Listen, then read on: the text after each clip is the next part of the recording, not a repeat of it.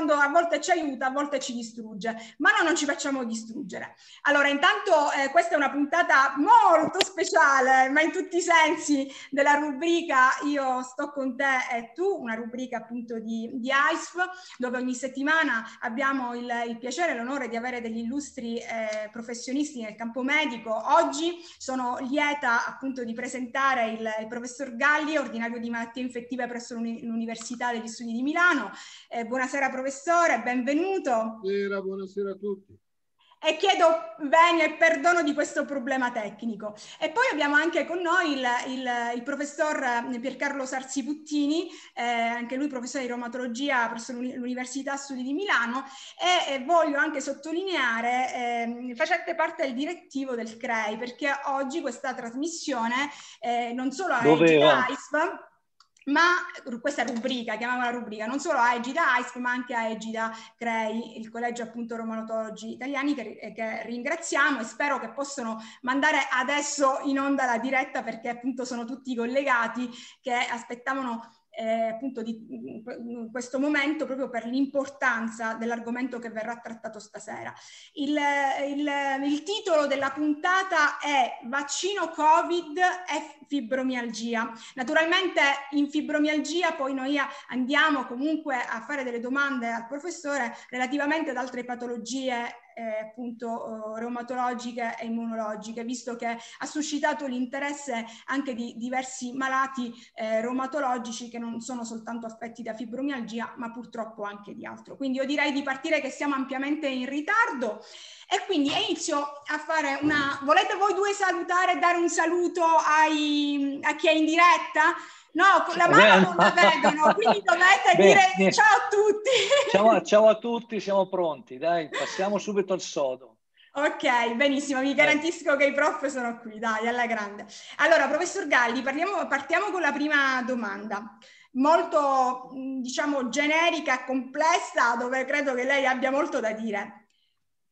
Il, che cos'è realmente il vaccino e quanti tipi di vaccino ci sono? Qual è il meccanismo che fa funzionare appunto questo vaccino?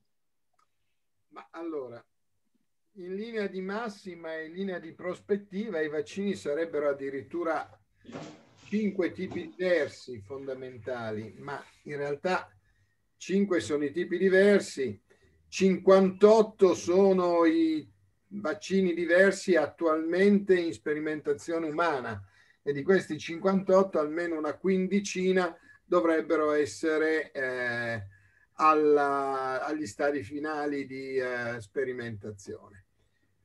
In fase preclinica ce ne sono altri 85, quindi voglio dire, è chiaro che su questa cosa si è buttato il mondo per cercare di avere dati. I cinque tipi di vaccini sono quello più, uh, come dire, grezzo di tutti, fatto con un vaccino inattivato, quindi con un virus inattivato, quindi il vaccino è fatto dal virus ucciso. Ci sono due eh, vaccini di questo tipo, ma probabilmente ce ne saranno anche altri in giro per il mondo, ma due prodotti in Cina. È un vaccino di cui sappiamo come dati ufficiali molto poco, ma che comunque non dovrebbe essere nemmeno malaccio dal punto di vista delle capacità di dare una risposta immune. Quale ruolo potrà mai avere e quale ruolo potrà mai avere nel nostro paese questo tipo di vaccini? Non lo sappiamo, non abbiamo modo di poterlo dire allo stato attuale dei fatti. Un altro tipo di vaccino è quello fatto con eh, virus vivo attenuato ci sono almeno un paio di, speri- di eh, vaccini sperimentali che vanno in questa direzione. Francamente non credo che nemmeno questa sarà una uh, via che ci porterà particolari risultati. Mi domando se svilupperanno qualche cosa pensando in modo particolare ai bambini, dove chiaramente eh, il modo di somministrazione di solito è per... Eh, instillazione nasale è molto più comodo che per, uh, uh, che per altre vie, però francamente credo che questa sia una strada che insomma non ha uh, per il momento grandi sviluppi in termini brevi. Poi abbiamo i vaccini di subunità, che sono un filo più uh, raffinati. Tu uh, tiri fuori delle uh, proteine virali dal virus in quanto tale, cioè produci dei vaccini che contengono varie proteine del virus selezionate e titolate. Ad esempio il vaccino Novavax che ultimamente è tornato alla ribalta è un vaccino con queste caratteristiche. Se e quando l'avremo a nostra diretta o come dire eh, utilizzo non ve lo so però francamente ancora dire. Lasciamo in fondo i due tipi di vaccini che invece sono a breve eh, in grado di essere eh, o sono già in uso o, o potranno esserlo molto a breve.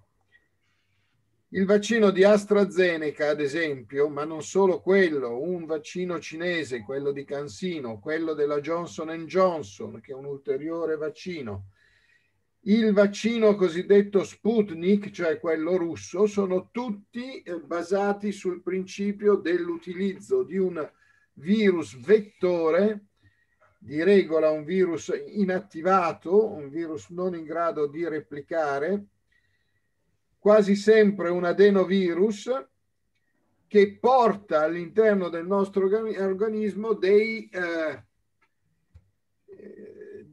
degli, eh, dei geni del virus della, ehm, della Covid e induce quindi, esprimendo appunto le proteine di questi geni, induce eh, il nostro organismo a fare anticorpi contro questi eh, geni. Quindi l'idea è usare come cavallo di Troia un uh, virus non attivo nell'uomo e anche inattivato come capacità replicativa e mettergli dentro a questo punto Ulisse e i compagni che eh, eh, a questo punto però invece che eh, uccidere noi eh, ci dovrebbero salvare. Facciamo i troiani di turno, vanno invece a suscitare una risposta immune che potrà uccidere il virus. Nel caso, che mi sia... Ok, perfetto, continuate. caso dell'incontro con Ok. Sento delle voci di sottofondo, spero che... No, no, tutto a posto, prof, può andare. Ok. Ultimo, ma assolutamente non ultimo, il, sono i vaccini prodotti eh, con mRNA, con RNA messaggero, quindi eh, una porzione particolare dell'acido nucleico del virus, del virus della Covid, che vengono inoculati in quanto tali, arrivano nelle nostre cellule, fanno questi eh, RNA messaggeri il loro compito, e cioè inducono a codificare le nostre cellule degli antigeni del virus che vengono poi sottoposti al nostro sistema immunitario che si attiva contro eh, questi antigeni. Stiamo parlando del vaccino della Pfizer e del vaccino di Moderna, che sono quelli già in uso in Italia. Questi sono i cinque tipi di vaccini, ma di questi appunto quelli che hanno un interesse più immediato sono il vaccino eh, prodotto con RNA messaggero del virus e il vaccino che ha gli adenovirus come vettori. Ok. Eh, mh, mm, facendo il vaccino si corrono dei rischi? Se sì, quali sono? Ma in realtà le, ehm, per quelli di cui conosciamo più cose, che sono quelli che arriveranno rapidamente in... Uh, che sono già arrivati o che arriveranno rapida, rapidamente in uso, gli effetti collaterali sono decisamente modesti. Non infrequente, anzi decisamente frequente, è il dolore in sede di inoculo, che però francamente è eh, raramente di importanza, di, di, di, discreta importanza. Normalmente è un risentimento minimo in sede di inoculo. Io devo dire che per quanto mi riguarda, però boh, ehm, forse viene lamentato forse più frequentemente dalle donne o dalle persone con una massa muscolare magari meno, meno marcata per quanto mi riguarda. Io un quarto d'ora dopo aver fatto la vaccinazione non mi ricordavo in che braccio l'avevo fatta. Insomma, ecco, per cui, certo. fastidio Capisco. veramente minimo.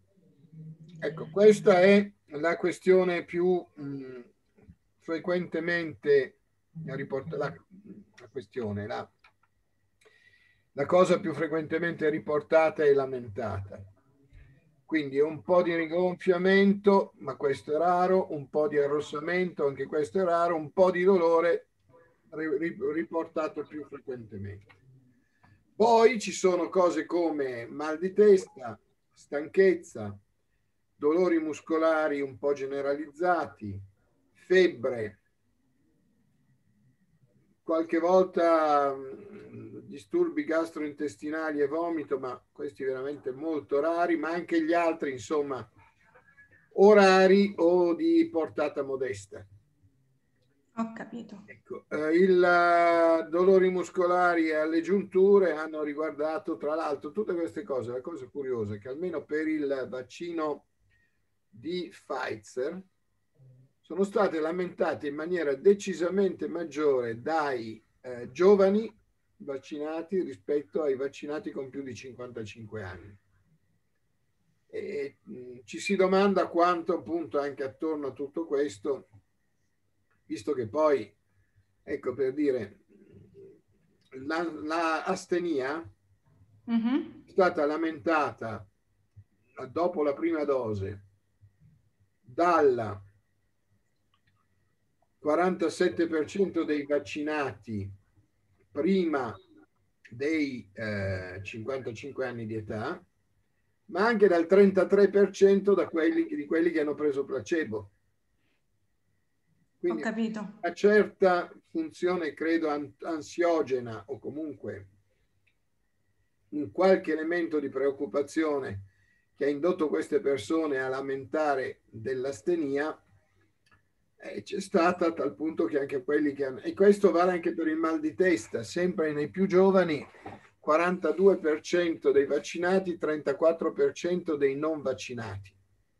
E queste cose suggeriscono che insomma uno è andato a farsi questa vaccinazione convinto di farla e di partecipare a questi studi, ma con qualche retropensiero, con qualche timore che ha un po' portato, credo, ad enfatizzare alcuni dei sintomi. Però a questo siamo e niente di più. Ho capito.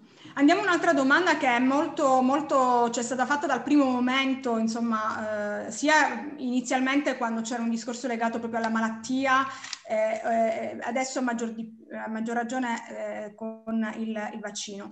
E, infatti molti pazienti ci chiedono se eh, il vaccino può essere fatto da chi è affetto da sindrome fibromialgica, ma io aggiungerei assolutamente anche se può essere fatto da chi è affetto da una patologia eh, reumatica o infiammatoria. Eh, e soprattutto quali sono i pro quindi nel farlo, nel caso in cui appunto si affetti da queste patologie croniche, o eh, se ci sono dei contro appunto per il fatto di essere affetti da queste eh, malattie. Inizialmente la domanda era quella di dire ma io che sono fibromialgica sono più propensa a oppure sono una malata appunto con delle altre patologie aromatico-immunologiche sono più propensa a prendere il covid. Eh, adesso la domanda è appunto relativa al vaccino. Io che sono malata eh, fibromialgica, malata di artrite, malata di Sjögren, di, insomma di tutte le malattie croniche aromatiche, posso fare il vaccino e se posso eh, quali sono i pro e quali sono i contro.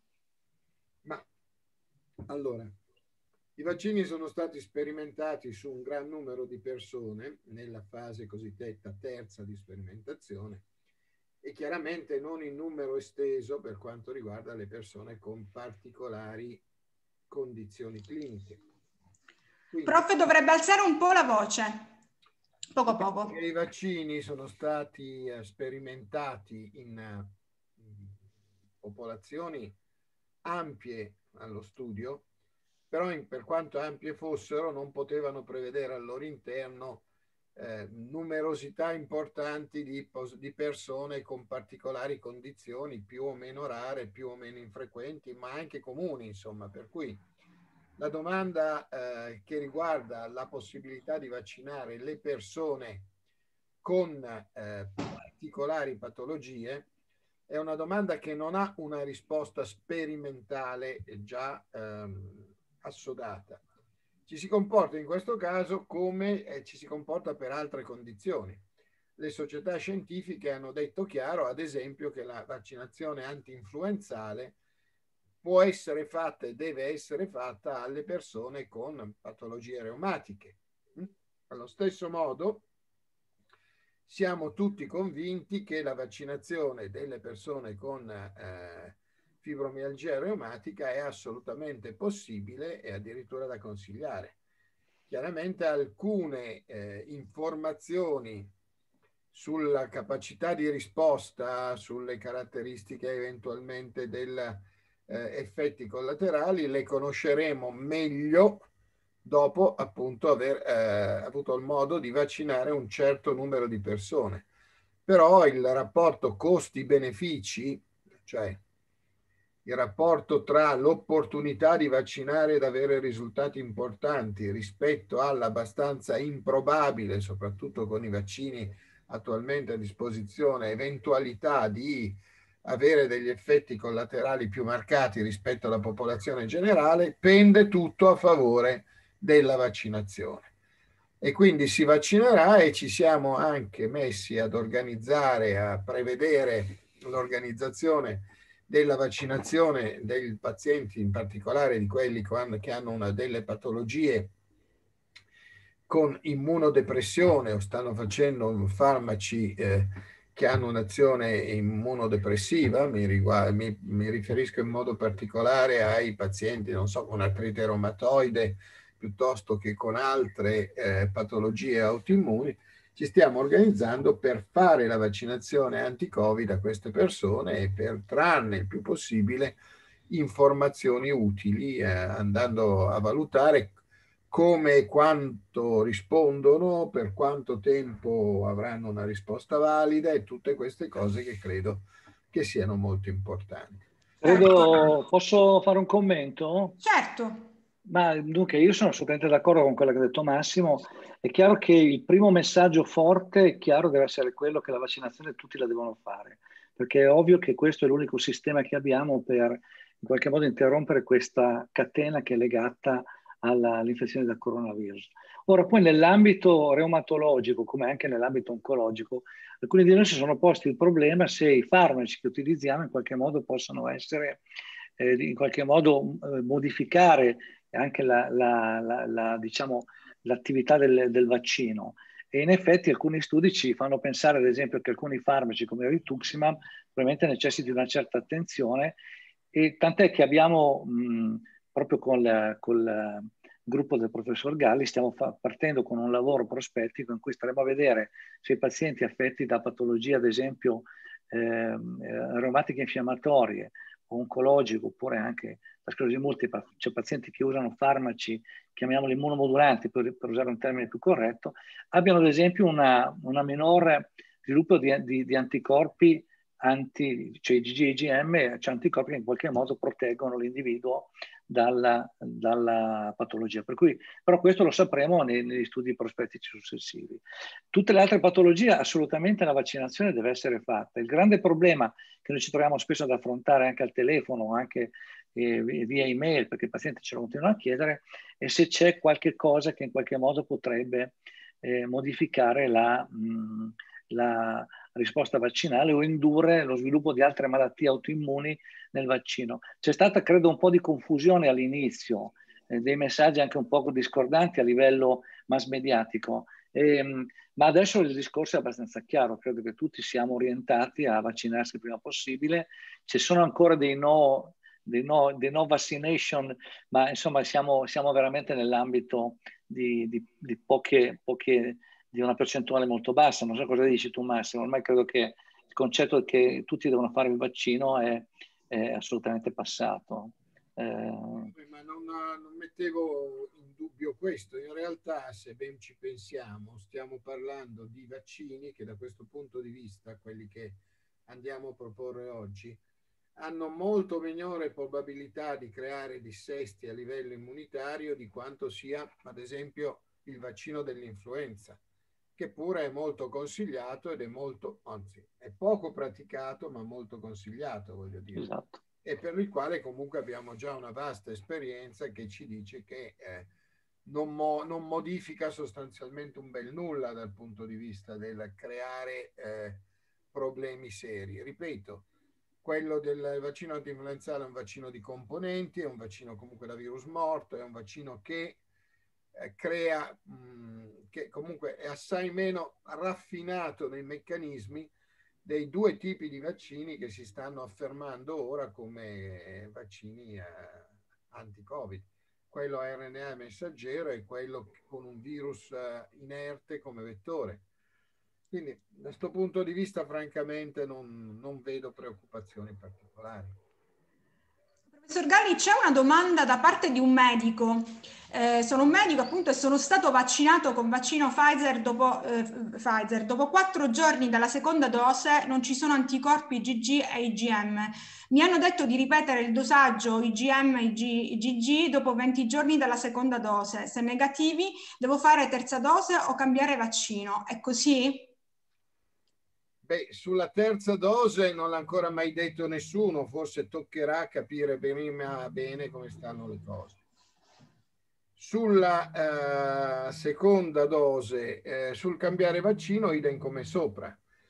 Il dato di fatto è che apparentemente non c'è risposta, bisogna anche essere certi di aver fatto il test giusto, cioè un test in grado di leggere eh, bene gli anticorpi anti-S, perché questi vaccini sono molto molto selettivi nel indurre una risposta che è soltanto quella contro gli antigeni del cosiddetto spike virale. Non eh, ci sono tutti gli altri anticorpi, non ci sono gli anticorpi contro il nucleocapside perché comunque non hai ricevuto no, l'informazione che ti consente di montare la risposta anche su quelli. Però, eh, ecco, eh, ci sono dei test che leggono solo il nucleocapside e non leggono, e non leggono, il, o che non leggono sufficientemente lo spike. Però, insomma, dato per scontato che abbia fatto il test giusto, eh, ahimè, sembrerebbe essere in quel per cento, ridotto per cento di persone che non hanno risposto o hanno risposto in maniera lenta. Eh, se non ci sarà una risposta evidenziata anche ai successivi test, bisognerà vedere quale sarà la strategia che attualmente non è ancora definita che verrà assunto per, assunta per questo tipo di eh, condizioni. Grazie. Invece molti pazienti ci chiedono, eh, chi invece ha problemi di allergia, Può farlo o se, eh, soprattutto farlo in quale ambiente? In un ambiente ospedaliero? Vabbè, senta, io l'ho fatto in ambiente ospedaliero, sono un eh, asmatico storico con un asma allergico e una quantità di allergie documentate dal, dai pollini, da vari pollini alle, alle polveri di casa, eh, tale per cui eh, in realtà, vabbè, forse anche perché ho anche una specialità in allergologia, non mi sono dato particolare pensiero considerando il tipo di vaccino, l'ho fatto con tutta tranquillità e non ho avuto nessun problema. Per cui Ottimo. da questo punto di vista eh, non è che un concetto generico di allergia ti esclude o ti mette in particolare ambascia eh, rispetto alla possibilità di fare questi vaccini. Questi vaccini credo siano anche per il numero limitatissimo di reazioni allergiche che fino adesso sono state segnalate e in larga maggioranza anche reazioni partic- non particolarmente marcate, per cui eh, però sono veramente limitate a livello internazionale quelle reazioni, quindi da questo punto di vista direi che il fatto di avere delle allergie non deve stare a preoccupare. Anche a livello di farmaci, allergie proprio ai farmaci? Direi proprio di sì, perché appunto i principi attivi, gli elementi che fanno da aptene o da, o da allergene in farmaci vari sono diversi da un farmaco all'altro, per cui non stiamo qua a mettere tutto nello stesso calderone. Cioè. Ho capito. È una domanda che è arrivata anche se uno già è stato, cioè si è ammalato di Covid, deve vaccinarsi o no? Beh, io sto portando avanti una polemica anche dura nei confronti delle autorità sanitarie perché io vaccinerei, come avrete capito, chiunque. Gli unici che non vaccinerei e che non vorrei che fossero vaccinati sono quelli guariti da Covid, soprattutto i guariti recenti, ma in generale i guariti da Covid. E non perché voglio stare a fare lo sparagnino, cioè l'avaro di vaccinazioni, ma insomma c'è anche da fare una considerazione, in Italia ci sono almeno 2 milioni sanno, di persone che sanno di aver avuto la Covid e ci sono altri 2 milioni che l'hanno avuta non lo sanno più o meno. Il che vuol dire che dal più al meno eh, tutto questa, questo totale di persone ci costerebbe eh, un bel 8 milioni, 4 di sicuro e 4 probabili di, eh, vaccini, di dosi di vaccino. Ora, in questo momento in cui non abbondano le dosi di vaccino, non è proprio il caso di vaccinare chi è già immunizzato, ma c'è anche un'altra considerazione che credo che sia importante. Abbiamo avuto diverse reazioni più marcate, più fastidiose in quelli che la, la eh, malattia l'avevano già avuta. Ma è abbastanza normale questo, no? Cioè, eh, sì, infatti mi scusi se ne interrompo, Carlin Milena dice proprio questo, ho avuto il Covid un mese per nega- eh, negativizzarmi, ho fatto il vaccino, sono stata parecchio male, soprattutto per la seconda dose, è stato molto molto peggiore del Covid, febbre alta, vabbè, sta a elencare tutti i sintomi. Sto dicendo in tutti gli ambiti possibili da settimane. Eh, infatti. piuttosto incavolato rispetto a questa. Questa è stata una scelta di tipo burocratico amministrativo eh, da talebani della sanità pubblica che non ha senso compiuto, l'hanno anche detto dicendo qualche cosa che secondo me è falso, quelli del CDC d'Atlanta, che ci sono prove che eh, si può fare tranquillamente anche nelle persone che hanno già la vaccinazione, anche nelle persone che hanno già fatto la malattia. Si può fare e non facciamo il morto, ma eh, facciamo una cosa abbastanza assurda. In tutti quelli che hanno fatto la vaccinazione in cui abbiamo avuto modo di fare il titolo anticorpale. Il titolo anticorpale nei vaccinati che avevano avuto già l'infezione è saltato subito, quasi fuori di, eh, in molti quasi fuori di, di, di, possibilità di misurazione. È evidente, eh, è rifare un challenge con un vaccino rispetto a una malattia finita da poco non c'è precedente in storia della medicina che suggerisca di fare questa cosa. L'abbiamo fatto per il morbillo, d'accordo, in persone che non ricordavano se da bambini avevano fatto l'infezione o se avevano fatto il vaccino. E allora invece di fare la titolazione degli anticorpi antimorbillo, anche perché poi la possibilità di non trovarli sarebbe stata importante anche in quelli che avevano già fatto il morbillo, abbiamo fatto la vaccinazione, punto e chiuso. A distanza però di anni e anni, se non decenni, rispetto a, uh, a quella che era la data possibile in cui questi avevano avuto il morbillo. Facciamo la vaccinazione anti-zoster, in persone che comunque hanno ancora addosso il virus, perché la, il virus della varicella, quando ti fai la varicella, il virus della varicella ti resta poi per tutta la vita nascosto in, in certe terminazioni nervose. Ecco, lì eh, perché facciamo il, la vaccinazione anti-zoster? Per rafforzare la capacità di difendersi nei confronti delle recidive, ma anche quella è una cosa che avviene decenni dopo aver avuto l'infezione iniziale in persone che hanno ancora l'infezione addosso rispetto alla quale tu vuoi creare una maggior barriera di risposta immunitaria. Ma santo cielo, qui son, si tratta di un'infezione che non rimane cronicamente e che è stata fatta pochi mesi prima. La base eh, proprio anche scientifica di rifare la vaccinazione subito a quelli che sono stati appena addirittura gente che aveva finito di essere malata 15 giorni prima. Ma è una stupidaggine di, grossa, di, di uh, portata colossale e faccio veramente fatica a trovare giustificazione. E invece, prof, nel caso in cui eh, qualcuno che fa il vaccino, quindi prima dose, eh, sviluppa la sintomatologia, la malattia, come è capitato, può fare e deve fare la seconda dose? I tuoi primari due a cui è capitato all'ospedale. ah, bene. Nella nostra azienda. È possibile, ovviamente, in, un, in fase pandemica come eh, quella che viviamo adesso, che persone perfettamente in ottime condizioni, che eh, sono magari insape- inconsapevolmente infettate da pochi giorni, facciano la vaccinazione non sapendo di essere infettati e sviluppino qualche sintomo o uh, per qualsiasi motivo facciano un tampone e si ritrovino positivi subito dopo, nei giorni, nella settimana successiva, l'aver fatto la vaccinazione. Queste persone sono persone che ovviamente hanno avuto una, così, una contemporaneità di eventi senza esserne consapevoli e queste non devono fare la seconda dose perché qui chi di dovere si è svegliato e ha detto vabbè la seconda dose in questi non la facciamo. Ho capito.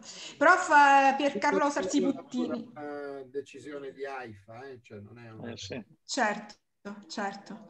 Professor Sarsibuttini, invece una domanda per lei mi arriva. La fibromialgia peggiora eh, se una persona si ammala di Covid? Beh, direi proprio di sì. Abbiamo fatto proprio un lavoro anche in cui ha partecipato anche Massimo, in cui abbiamo confrontato i pazienti fibromialgici esenti Covid con quelli che avevano sviluppato il Covid. In effetti il quadro clinico, soprattutto nella astenia e nella dolorabilità, nel, eh, eh, c'è un netto, un netto, peggioramento.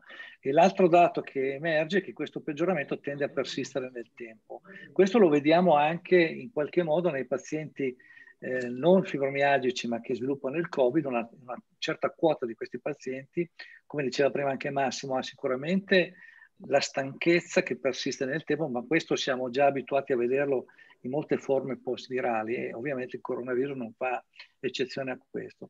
Ma ehm, in, in, circa il 20-25% dei pazienti che, che, hanno avuto un'infezione da Covid persiste nel tempo una sintomatologia articolare, artromialgie, che tendono gradualmente a, a scomparire nel tempo, ma sulle quali per adesso non abbiamo una risposta definitiva perché non abbiamo ancora raccolto dati a sufficienza per capire se nell'arco di 6-12 mesi la sintomatologia si attenua e scompare o se in qualche modo il, il Covid potrebbe fungere da stressor per sviluppare nei soggetti predisposti un quadro di sindrome fibromialgica concomitante. Quindi da quello che ho capito, cioè il Covid potrebbe generare eh, eh, una, qualche, una, sindrome, diciamo, da dolorosa cronica, stenica, che magari inizialmente non, non è inquadrata come sindrome fibromialgica, però eh, nell'arco del tempo potrebbe... Eh, cioè Beh, poi... insomma, diciamo che tutte le infezioni virali sono dei veri e propri stressor per eventualmente disturbi di, da sensibilizzazione centrale, cioè quelle forme che in qualche modo eh, rientrano nell'ambito della fibromialgia o delle sindrome da affaticamento cronico, per chi le voglia considerare due patologie diciamo distinte. Eh, perché questo accada non lo sappiamo fino in fondo, alcuni studi ci fanno vedere che c'è una rallentata risposta dell'asse ipotalamo ipofisi surrene, il cortisolo viene prodotto in misura minore anche se nella normalità, ci sono alcuni aspetti di disautonomia, cioè in qualche modo sembrerebbe che l'adattamento dei nostri assi neuroendocrini venga modificato da un'infezione di tipo virale e ovviamente il coronavirus non fa eccezione per questo. Vedremo poi nel tempo che cosa accade perché è molto interessante sarà vedere quando abbiamo i dati a uno, due, tre anni che cosa appunto residua eh, nel, nel, Covid. Ehm, è chiaro che non, non esiste soltanto l'area del dolore o della fatica. La sindrome post-Covid è una sindrome molto complessa e ci sono una serie infinita di segni e sintomi descritti di tipo vascolare, di tipo, di tipo di danno d'organo e credo che anche questo sarà un dato interessante quando riusciremo a estrarre diciamo, i dati di, una, di, quella che noi chiamiamo già adesso sindrome post-Covid in maniera un po' più diciamo, organizzata quando perciò avremo dei dati più spendibili rispetto a quelli che abbiamo adesso. Io non so Massimo cosa ne pensi tu della diagnosi di sindrome post-Covid, ma in questo momento è ancora una diagnosi un pochino etera, non ben inquadrata mh, con dei criteri specifici.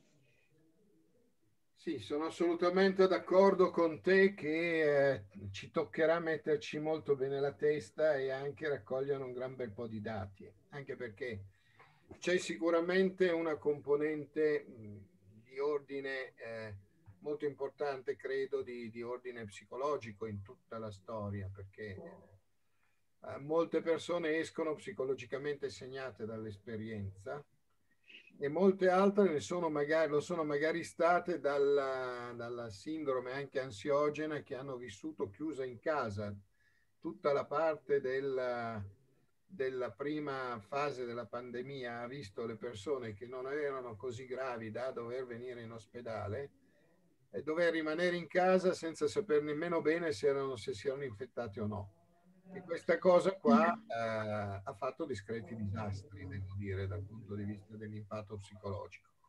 Però a, a monte e a valle di tutto questo ci sono tutta una serie di eh, condizioni che meritano di essere meglio definite, meglio spiegate. Eh persone che hanno mm, dolori o impacci importanti, ad esempio degli, a livello degli arti superiori o di uno solo degli arti superiori, persone che hanno qualche difficoltà di, di deambulazione o comunque, insomma, ne abbiamo viste diverse di queste cose qua, Piercarlo. Il punto è, eh, non so, qualcuno che, come non so se l'hai visto, il signore che, che ti ho mandato ultimo, che ha una specie sì. di no, ecco eh, che va capito e inquadrato anche a sua volta. Insomma, sono diverse le situazioni di questo genere che eh, probabilmente ci daranno la possibilità di darci anche una cultura specifica. Eh,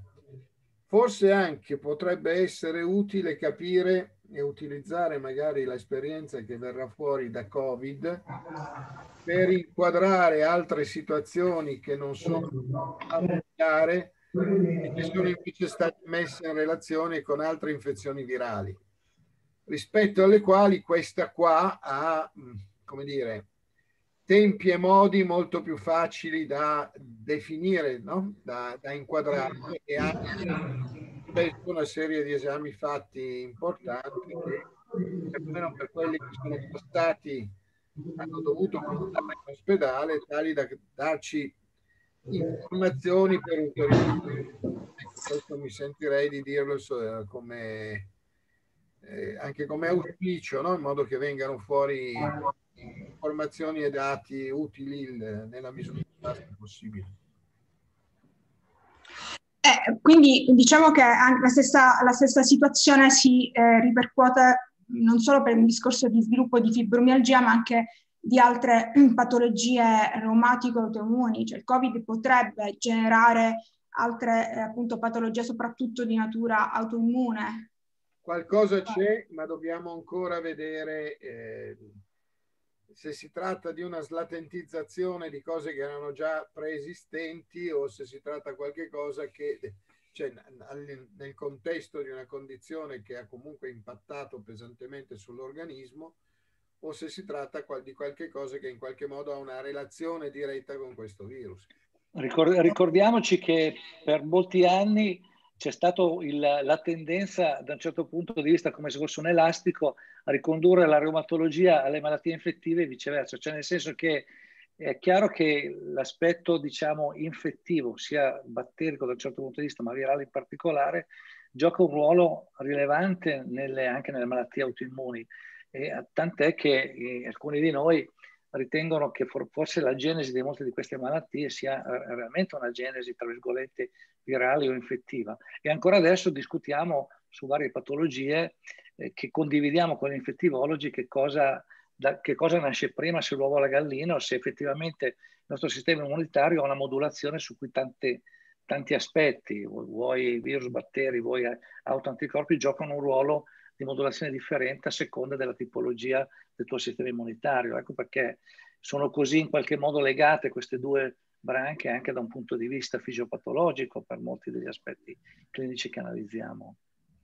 Professor Sarci, una domanda. I farmaci, eh, insomma quelli biologici, no? quelli che vengono usati per artrite reumatoide, insomma mm, sì. tipo, eh, malattie insomma, similari, sono in grado di bloccare l'insorgenza di questa Ma, patologia? Diciamo, sì, diciamo questa è una storia ormai che, che data da qualche mese, diciamo, non da qualche anno, perché ovviamente questa infezione è molto più recente. Alcuni degli aspetti di questi farmaci erano sicuramente interessanti per quale motivo? Perché una delle, delle cose che si, si, temeva di più nell'ambito dell'infezione da Covid era l'iperinfiammazione, che in qualche modo era quella che poi ti creava problemi soprattutto a livello polmonare o nei danni d'organo. È ovvio che l'utilizzo di questi farmaci che modulano le citochine, modulano il rapporto TB-linfociti, ovviamente può essere un fattore, diciamo, significativo nella riduzione dell'entità dei sintomi. Abbiamo imparato che alcuni di questi farmaci in alcuni casi possono funzionare, in altri è molto importante il timing, cioè quando tu li utilizzi in base allo stadio della malattia, ma ancora adesso abbiamo dei dati che non sono totalmente conclusivi, tant'è che una vera e propria terapia della malattia, eh, indipendentemente dal tipo di farmaco, che sia un farmaco di quelli che utilizziamo noi in reumatologia o sia un farmaco diciamo di area infettivologica non, non, è certo. Adesso sono emersi di recente anche gli anticorpi monoclonali per cui è chiaro che si sta cercando insieme al vaccino eh, che, che ovviamente è una risposta più decisa da un punto di vista della profilassi della malattia, si stanno cercando anche soluzioni terapeutiche per chi ovviamente l'infezione ce l'ha e ci sono tantissimi studi in corso, alcuni dei quali hanno dato anche risultati discordanti, soprattutto per quanto riguarda ad esempio i farmaci che usiamo noi in reumatologia. Eh, l'altro aspetto è anche l'altra faccia della medaglia, come abbiamo detto prima, i pazienti che fanno questa tipologia di farmaco sono più a rischio di situazioni peggiorative. In effetti non sembrerebbe di no, sembrerebbe che la prevalenza di malattie, cioè di, di, di Covid, di infezione di Covid sia abbastanza simile tra chi fa questa tipologia di farmaco e chi invece è il gruppo di controllo che è in perfetto benessere.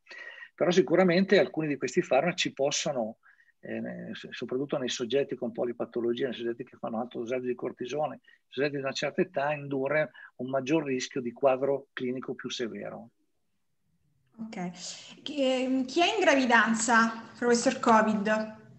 No, eh, professor Covid, che è, in, che, che è in gravidanza e deve fare il vaccino, può fare il, il, il, il vaccino, appunto, eh, professor Galli? Le società scientifiche si sono espresse in questa direzione. Vale anche qui il discorso che abbiamo già fatto, non è che sia stato sperimentato il vaccino nelle gravide, però per tutta una serie di considerazioni le società scientifiche lo consigliano nella... Uh, gravidanze nell'allattamento, tenuto, tenuto conto che eh, siamo in una situazione in cui il rapporto costi-benefici è molto eh, maggiore, no? diciamo rischi e vantaggi è molto maggiore e pende dalla parte dei vantaggi rispetto a quella dei rischi. E invece c'è qualcuno che non può farlo? Guardi, che non lo possa fare direi nessuno, persino quelli che, a cui io non lo farei, che sono quelli che si sono già infettati, non è che poi fanno il vaccino e hanno, e hanno problemi gravissimi, hanno reazioni importanti che sarebbe inutile fargli avere, ma non succede poi molto più di questo. Ci sono purtroppo quelli che verosimilmente, eh, anche se lo fanno, non risponderanno e sono i portatori di alcune immunodeficienze rare, ma anche molte persone invece che dentro è tutt'altro che così raro, che hanno malattie, ad esempio uh, linfomi, leucemie o sono in uh, trattamento, uh, come non so, ecco, cosa potranno, che risposta potranno avere i trapiantati di midollo in immunodepressione costante, no?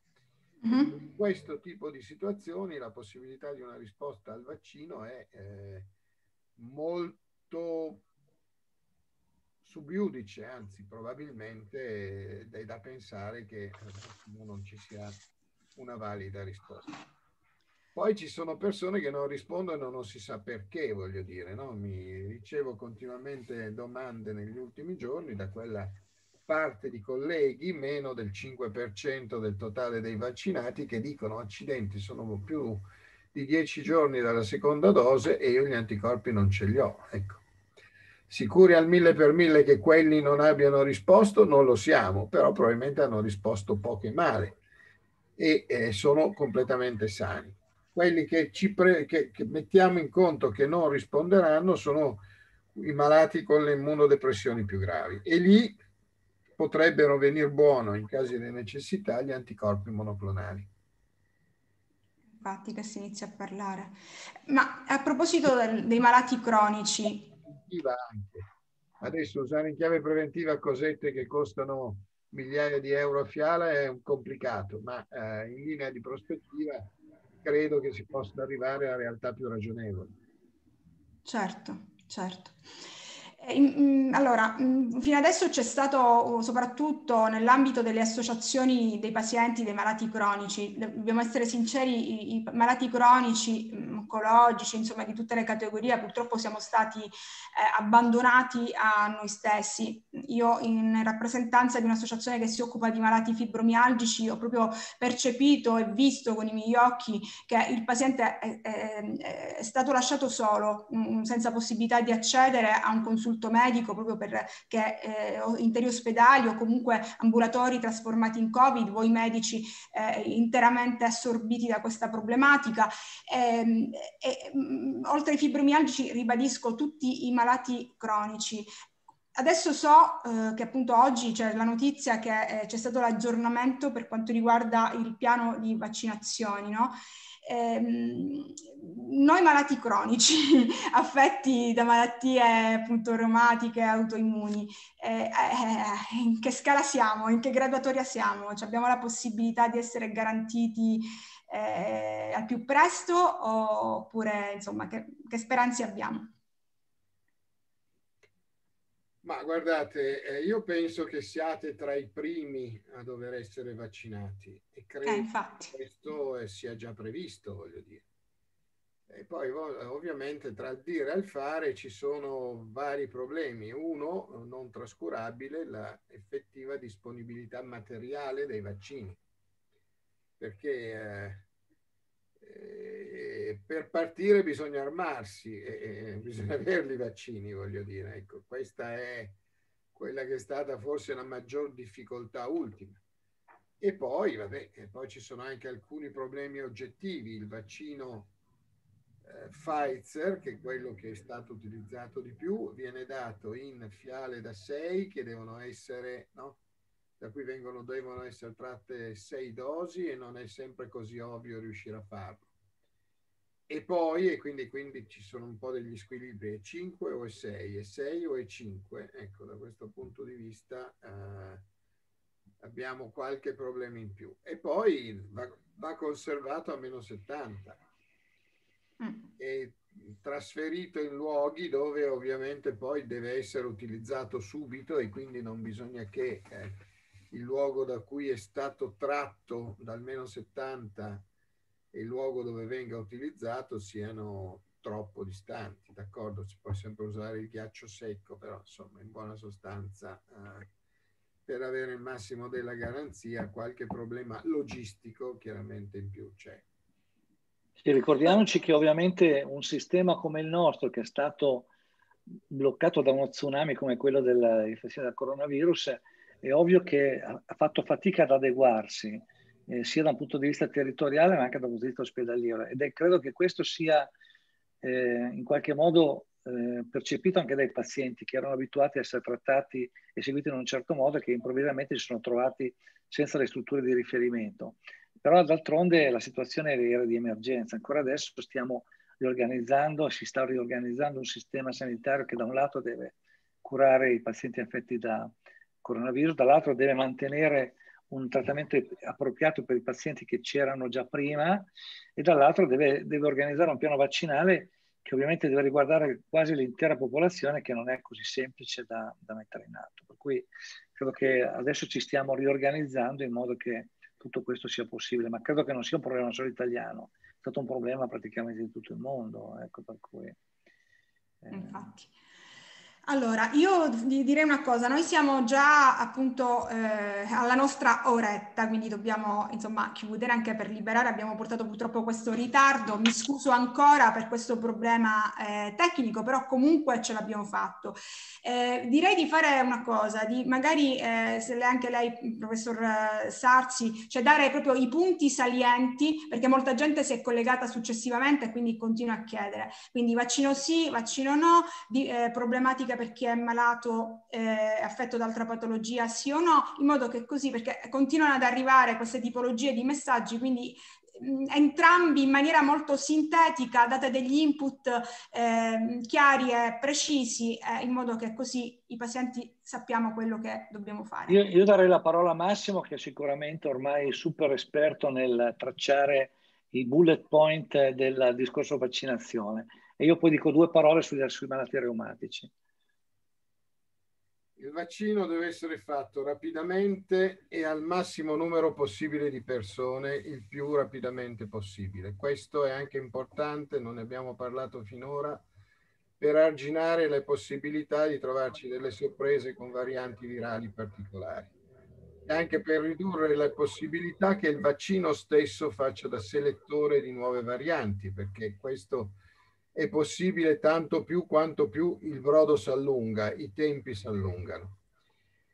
Quindi vaccino sì, vaccino praticamente a tutta la popolazione, abbiamo ancora problemi aperti. Un primo problema aperto è il fatto che non abbiamo il vaccino per sotto quelli sotto i 16 anni, cosa assai fastidiosa perché non è stata fatta nessuna sperimentazione sufficiente per poter vaccinare anche i più giovani e i più piccoli però ci arriveremo, voglio dire.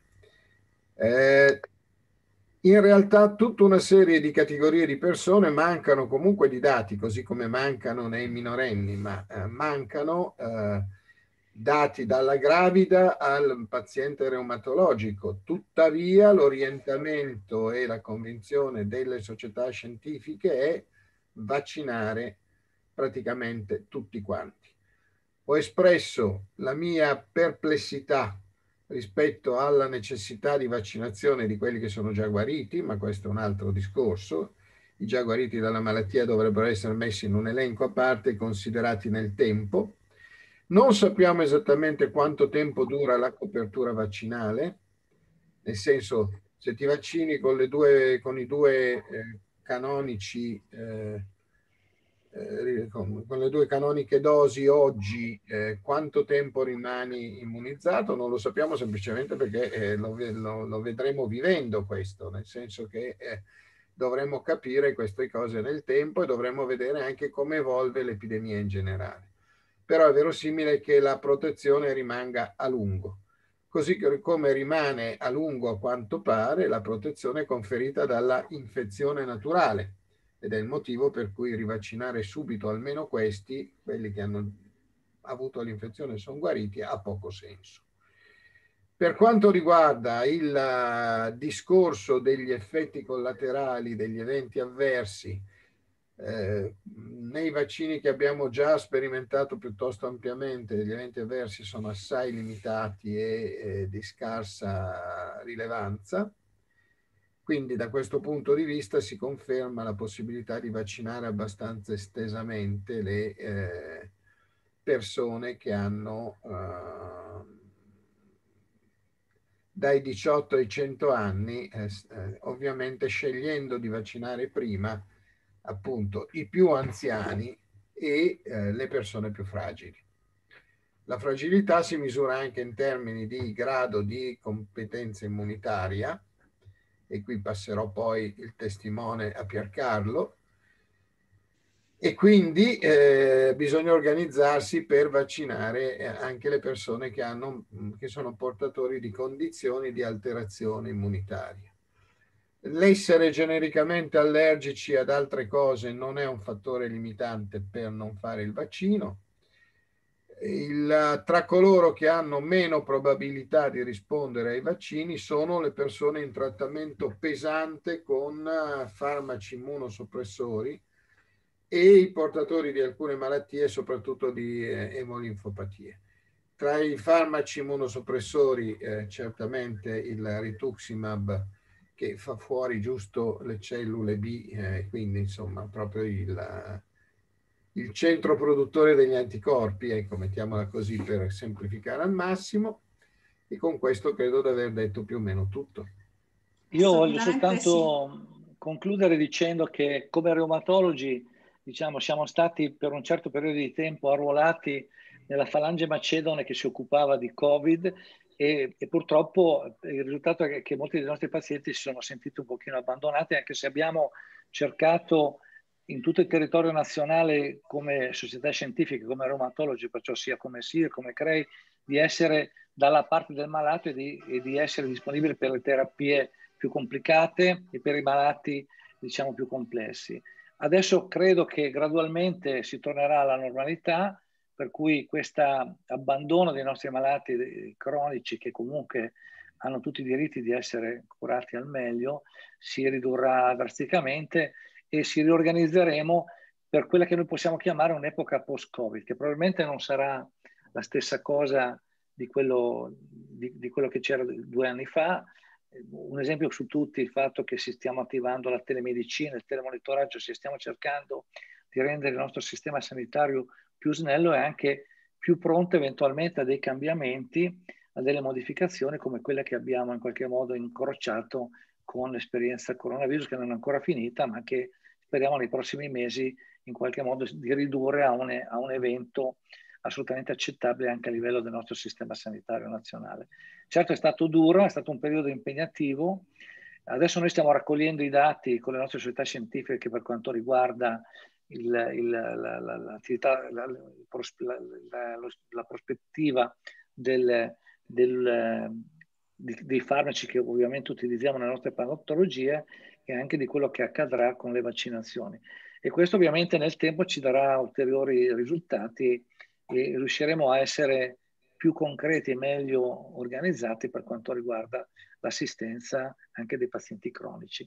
E credo che questo sia in qualche modo il messaggio credo che dobbiamo dare ai pazienti di, di grande fiducia perché è chiaro che esistono i pazienti Covid, ma esistono anche i pazienti cronici di altre patologie che in qualche modo ovviamente in questo periodo sono stati un pochino non abbandonati loro stessi perché questo non è corretto, ma ovviamente con meno disponibilità di tipo ospedaliero, di tipo medico, insomma, perché è ovvio che il Covid è stato veramente una, un tritasassi da questo punto di vista. Credo che uno degli anni maggiori che lascerà alle spalle proprio questa malattia sono i buchi di assistenza, i rinvii di tutta una serie di interventi elettivi, ehm, il non perfetto eh, adeguamento ai protocolli di molti trattamenti che sono stati in qualche modo diluiti in ambito oncologico in particolare, ma ecco, forse ci sono stati più morti di infarto perché la, le persone sono venute meno in tutti i sensi, ma sono venuti meno in ospedale anche, no? In tutto questo periodo. Eh, nel 2020 abbiamo avuto tantissimi morti, ma molti di più rispetto al 2019 della differenza no? che, viene, che, che emerge considerando le persone morte certamente per Covid. C'è comunque un surplus che andrà spiegato e su cui sarà necessario meditare parecchio. Non so se sei d'accordo, Piercarlo. Assolutamente, certo. D'altronde è stata veramente una tempesta, diciamo, equatoriale, per cui, eh, della, sulla quale non eravamo pronti fino in fondo. E devo dire la verità che chiunque di noi avesse visto i filmati che arrivavano dalla Cina all'inizio, mai si sarebbe aspettato una, un terremoto mondiale di queste entità. Almeno si sperava che come al solito rimanesse localizzato in terreni lontani, invece ci siamo dovuti, abbiamo dovuto affrontare un percorso molto complicato. Bene, io vi ringrazio veramente di cuore per il prezioso contributo che stasera avete insomma, dato alla, alla, alla, mia rubrica, a tutti i pazienti presenti.